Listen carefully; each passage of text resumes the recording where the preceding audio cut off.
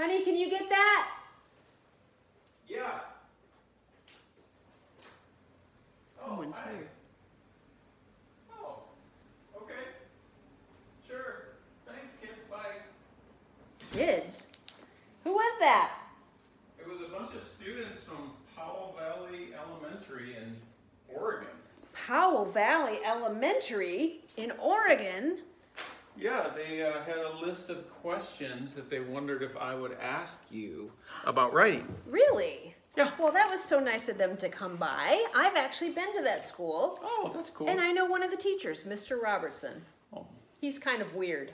oh, well, He's the weird teacher. you know, he teaches fourth grade, so. That's awesome. So, what kind of questions do we have here? Okay, Spencer asks, why do you write fiction? Why do I write fiction? I think fiction is way more fun than real life. And it ha- I can include anything I want, like magic and stuff like that. And so that's why I love to write, write fiction. Great. Spencer also asks, is there a specific book that inspired you to be a writer? Probably not one specific book, uh, but I read a lot when I was a kid, and I loved books like Charlotte's Web and the Narnia series. And so books like that were very um, important to me in my childhood. Great. Um, Jesse, Aaliyah, Hector, and some others asked, where do you get the ideas for your book? the ideas that's always a question i get and a lot of times uh, i'll get ideas from dreams and but the thing about that is you have to write them down in the middle of the night and that can be hard to do because you don't feel like it but um, sometimes you forget your dreams so that's important to do but one way that i get a lot of ideas is by asking what if and it happens all the time. Like I'll be walking down the sidewalk and I'll think, what if this sidewalk opened up and I fell inside and there was a different world down there? What would happen? Or like one time I saw uh, on the side of the highway when I was driving, I saw a stroller, a baby stroller sitting on the on the side and it was faced away and I think most people would say, "Oh, that stroller probably fell off of a truck or something." And but I thought, what if there's a baby in there?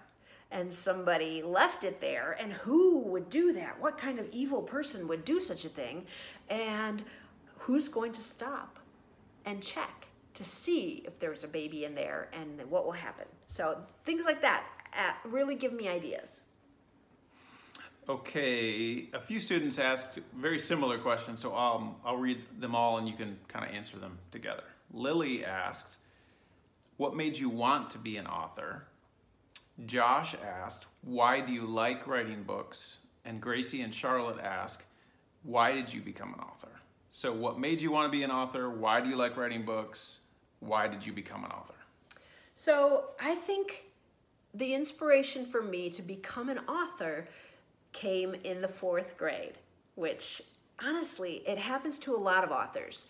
We all have this thing in common. Like Margaret Peterson Haddix, also fourth grade, she decided she wanted to be a writer or an author, and um, she's written a lot of books that some of you may have read. Um, but one day, my teacher, Mr. Avink, in fourth grade, made us all write a, a story, and he picked the best story, and the person who wrote the best story got to go to this thing called the Young Authors Conference. And he picked me, and I was so shocked because I wasn't the best at anything. But he told me that I was the best uh, with this story assignment, and it made me feel amazing. And I realized how much I loved writing, and so I kept going, and it, it was so enjoyable to me. Okay, Nathaniel and Lauren asked, if you could write a letter to your 12-year-old self, what would you write? I would write, Dear Lisa, don't give up. From Lisa. There you go. Lauren asked, do you try to be more original with each book, or do you try to deliver what your readers want? Hmm, That's a really good question. It is. Um, and it's hard to deliver what my readers want for this particular reason, and that is when one of my books comes out, uh, I'll get a lot of readers who say, oh, this is what should come next. But the problem is, uh, then usually their ideas are great.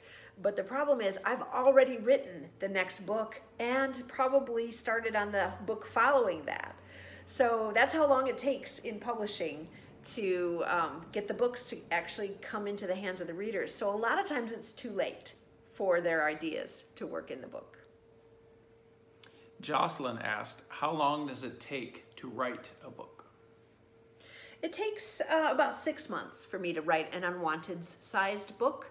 And that's with me writing the rough draft and then sending it to my editor and doing some revisions and going back and forth a few times. So the whole process is about six months. Lauren asks, Does writing energize or exhaust you? Hmm, both. I get really excited about a new idea and I love writing action scenes, but by the time I'm done with those, I'm exhausted. So it does both. Lily and Lauren have two questions that are similar. Lily asked, How long ago did you write your first book? And Lauren asked, How long have you been a professional author? Oh, great. So my first book never got published. That was in 2006. Um, so it's been since then, 14 years since I wrote my first book, and, and then I wrote a second one that didn't also didn't get published, and that happens with writers. Uh, we have to have some practice novels sometimes. Uh, but then my first book that actually came out into the world was in 2008. So that was 12 years ago, and I've been a professional author since then.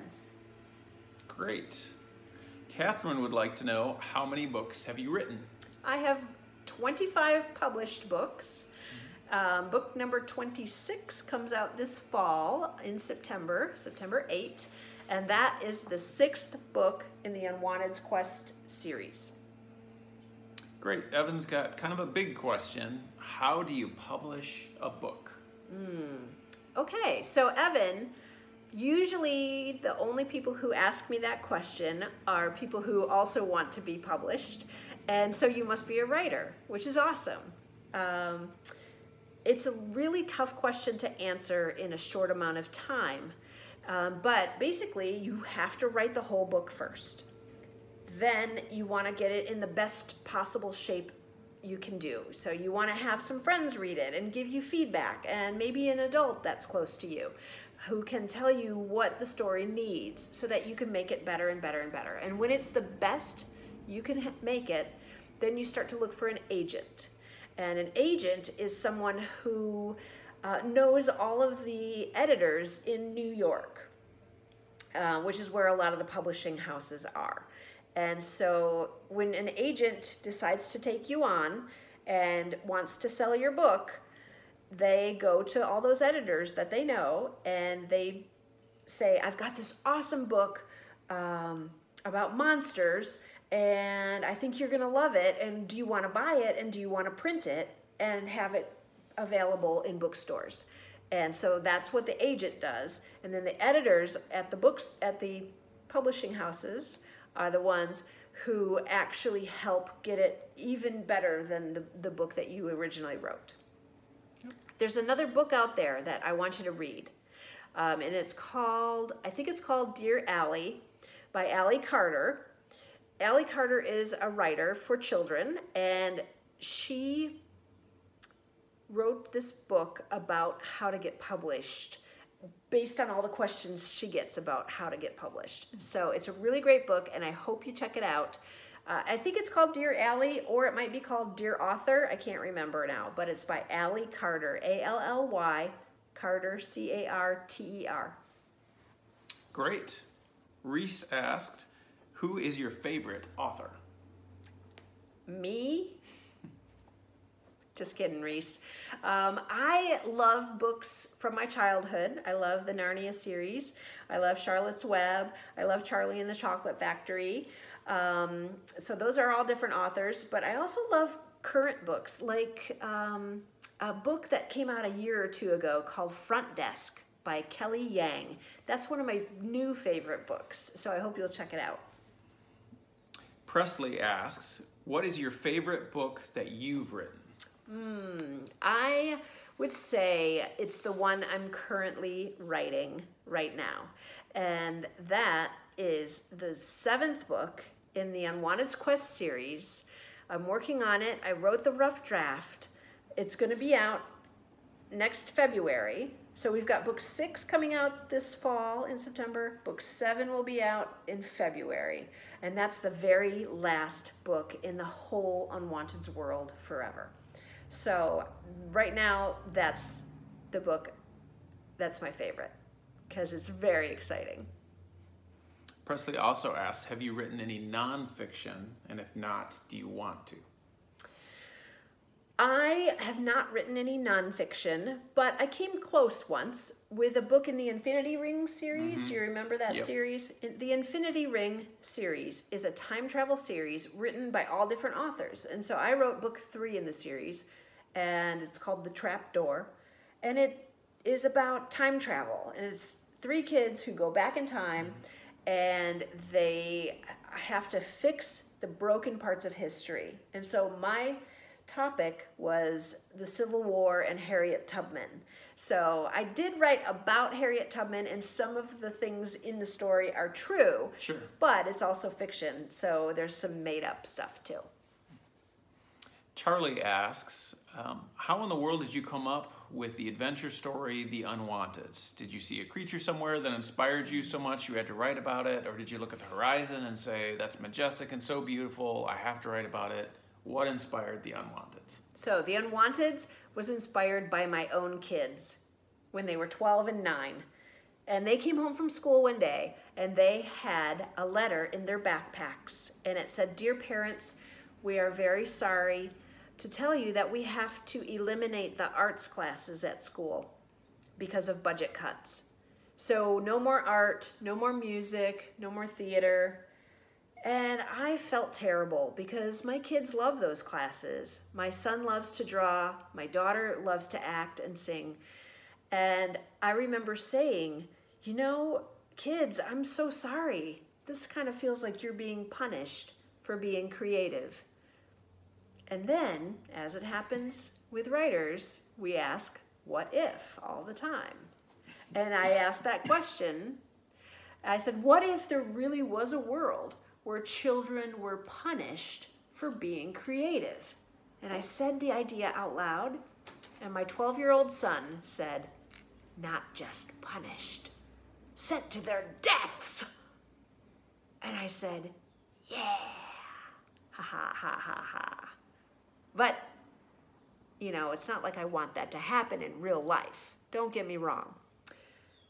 But in a book, I would love to know what's going to happen with those children who are considered unwanted in their society and who get sent to their deaths. They're so creative, they've got to figure out something. So I began to write that first chapter of the original Unwanted series, this book right here, and I wrote about Alex and Aaron Stowe. And they're identical twin brothers, and they're standing in the commons of Quill this dystopian world where it's against the law to be creative, and they're waiting to find out what's going to happen to them. And we discover that Alex and his friends, uh, Lonnie and Samheed and Meghan, are all unwanted and they're heading to their deaths.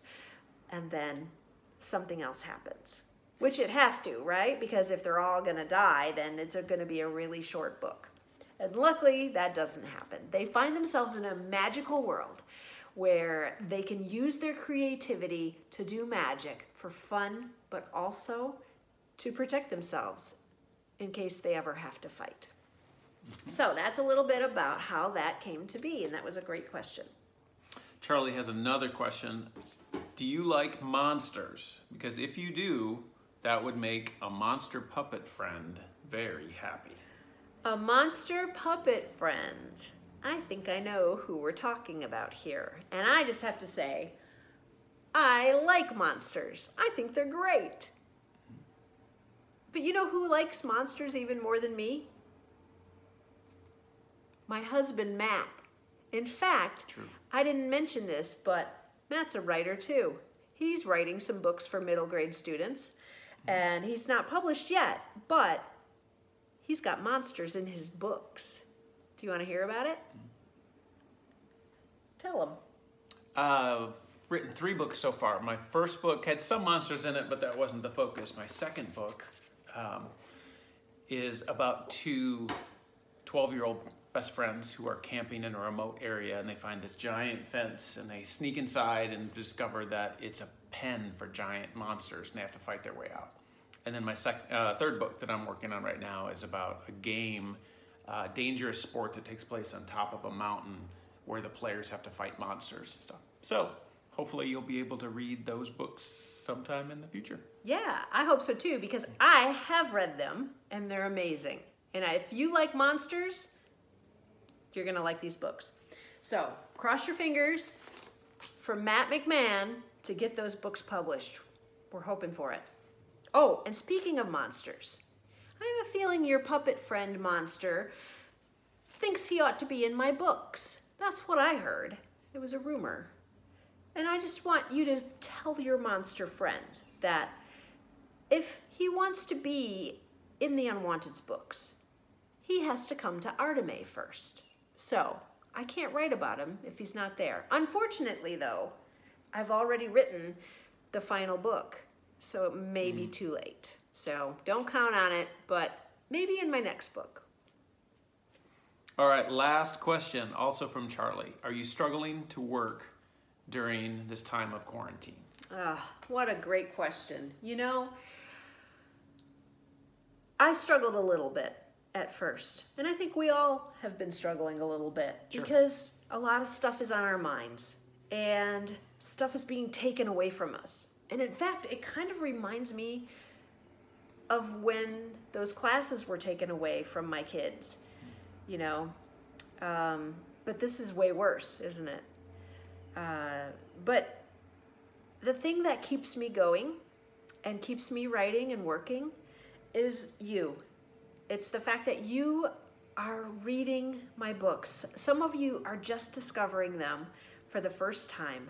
Or, and others of you maybe have read all of the whole first series of seven books and you're caught up all the way through book five on the Unwanteds Quest series, which is a sequel series and you're waiting for book six to come out this fall. But just me knowing that you're there reading and first discovering these characters and these stories makes me want to keep going. So that's what gives me inspiration. It's you. So I want to say thank you for that. And thank you for inviting me into your homes today. I didn't introduce myself at the beginning. My name is Lisa McMann and I am the author of the Unwanteds and the Unwanteds Quest series and the Going Wild series, which is another trilogy that I wrote about a girl who finds a bracelet that gives her animal powers. So, and this is Matt McMann, my husband. So, thanks for inviting us to be with you, and I hope you have a wonderful day, and I hope you're inspired to read and to write. Bye. Bye.